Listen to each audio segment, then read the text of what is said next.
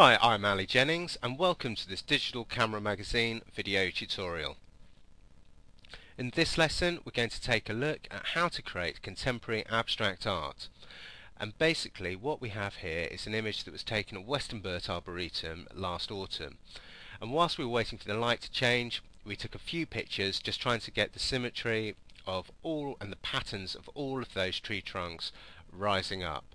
Now the light was coming through which made it incredibly difficult for taking pictures because of the contrast and so we had the idea of just basically creating some abstract art by applying motion blur. Now because all of the trees are going back into the distance we can apply a series of blur effects and use masking and layers to actually add depth and create an abstract art work. So if we take a look at the final result you'll see exactly what I mean. And here we have it it's all of those tree trunks and if you look at that you can really feel the light coming through those trees. And basically that's three different amounts of blur applied to the picture which really brings in and gets that effect. So to get started we're actually going to make some adjustments to the original raw file. So if we open that and you'll find that on this month's CD and what we want to do is basically just boost a few of the colours and also just lighten up those tree trunks a bit as well just to give the image a little bit more depth when we start to apply those motion blur effects. But before we start we just want to check on the clipping warnings.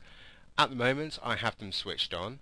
If you don't then just go up to the histogram. In the top left you have your shadow clipping warnings and top right you have your highlight clipping warnings. So when they're switched on, if I go down to my exposure and I reduce my exposure right down, you'll start to see the blue of the shadow clipping warnings appear. And if I take it right up to an exposure of plus 4, you'll see the red which are the highlight clipping warnings. Now I want to blow some of the highlights just to get those real light tones within the picture. So I'm going to take the exposure up to about 0.7 and then I want to just lighten up the detail in the bark on those trunks. So I'm going to increase the fill light right up to about 76. Now if I zoom into the picture you'll see that the quality of the image is really starting to fall apart.